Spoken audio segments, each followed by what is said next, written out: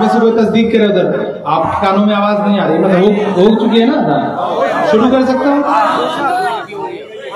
दायरे में सिमट के आएगा।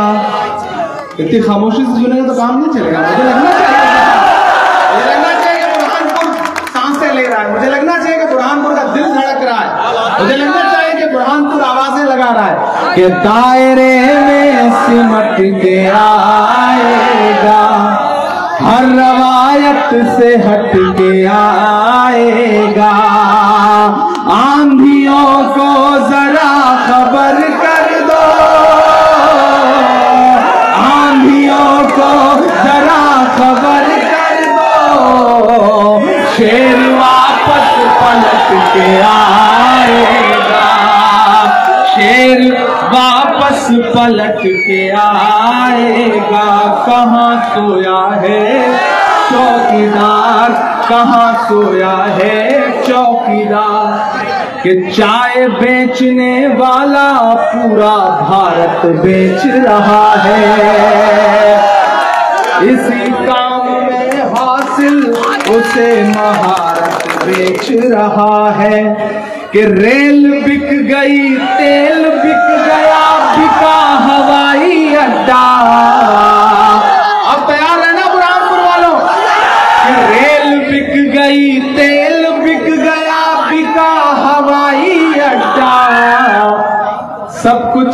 बिकता देख के खुश है अपने जेपी नड्डा। के जनता महँगाई की मारी करती हाहाकार। कहाँ सोया है चौकीदार? कहाँ सोया है चौकीदार? कई मुकर्र तो यहाँ ऐसे आए हैं। मेरा नासिर औरंगाबाद से मेरे माइनॉरिटी डिपार्टमेंट में काम करता है। वो बता रहा था कि कई तो ऐसे हैं जो बता रहे हैं यही पार्टी है तो अल्लाह रसूल की पार्टी और पार्टी में अच्छा जो ये बात बता रहे हैं, उनसे पलट के पूछ लेना कि मेरे भाई, तुम ये बताओ कि पिछले कुछ दिनों पहले तुम वही अल्लाह रसूल वाली पार्टी छोड़ के समाजवादी में क्यों गए थे और फिर वापस क्यों लौट के आए? पूछ लेना। ज़रूर एक बार पूछ लेना कि क्यों गए थे और क्यों लौट के आए और जिन दिनों गए थे, उन दिनों कैसी कैसी तकरीरें करते थे।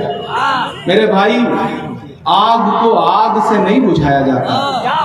आग को पानी से बुझाया जाता। है नफरत को नफरत से नहीं काटा जा सकता। नफरत को मोहब्बत से काटा जाता है। नफरत का जवाब मोहब्बत होती है। यही समझ लीजिए। यही मैं आपसे कहने आया हूँ इस मुश्किल लड़ाई में, इस बड़ी लड़ाई में, इस सेमीफाइनल की लड़ाई में आपके एक एक वोट की अहमियत है। जब पूरा सूबा एक तरफ़ चल रहा है, आंधी चल रही है तूफ़ान चल रहा है हवा चल रही है कांग्रेस के पक्ष में।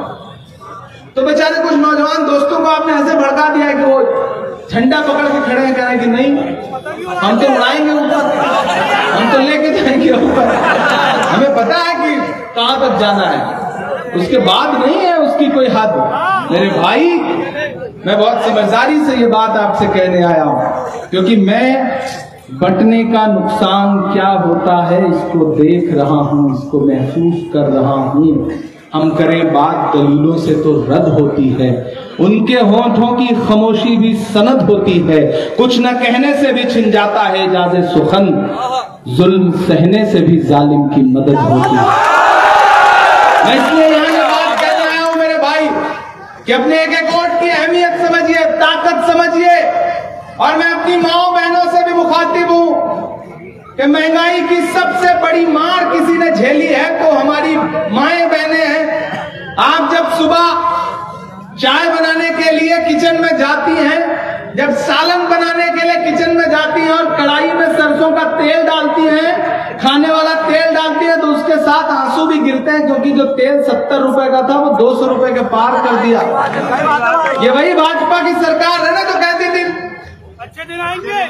अच्छे दिन का नाम बहुत कलेजे पे चोट लगती है मैं तो आजकल पार्लियामेंट में खड़ा होकर उनसे कह देता हूँ कि मोहब्बत भाईचारे के दीवाने दिन ही लौटा दो वो सस्ती दाल सब्ज़ी के सुहाने दिन ही लौटा दो ये अच्छे दिन तो अंबानी अडानी को मुबारक हो। हमें ऐसा करो साहेब पुराने दिल्ली में दो वो ज़्यादा अच्छे थे, वो ज़्यादा खूबसूरत थे। जब पेट्रोल डीजल सस्ता था, जब कच्चे तेल की कीमत अंतर्राष्ट्रीय बाजारों में महँगी थी, तब तेल सस्ता था।